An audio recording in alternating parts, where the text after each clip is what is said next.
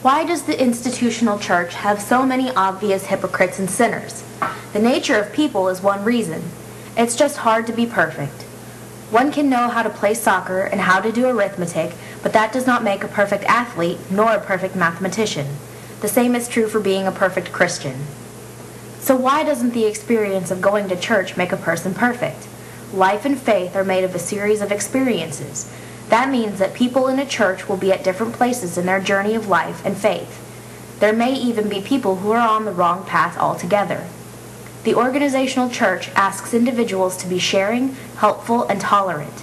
But at any time, the congregation or staff of any particular church may fail in these things. We often accept this kind of behavior in individuals. However, we hold the institutional church to a higher standard. That makes failures against the standard so much more spectacular and disappointing. The standards come from the structure of the system. In a participative system, the standard is set by the community.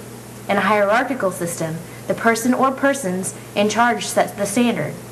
Further, Christians are to accept the outcast and believe in repentance and renewal. On the other hand, there is also a need to reject what is evil.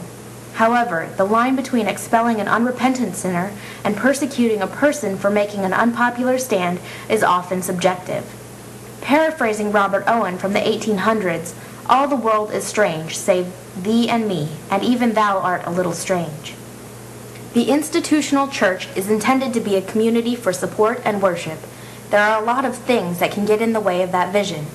Personal fellowship is as important as the people we choose to associate with in school, at work, or in the neighborhood.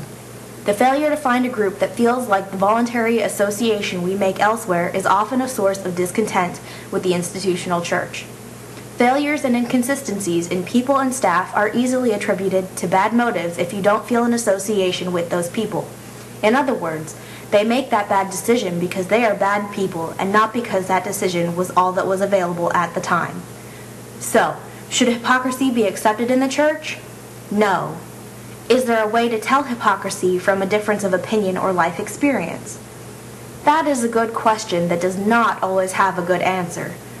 God's universe is both simple and complicated. Somehow, it is important to strive to both identify and understand things that we might see as hypocrisy. Thank you for watching, and may God bless you.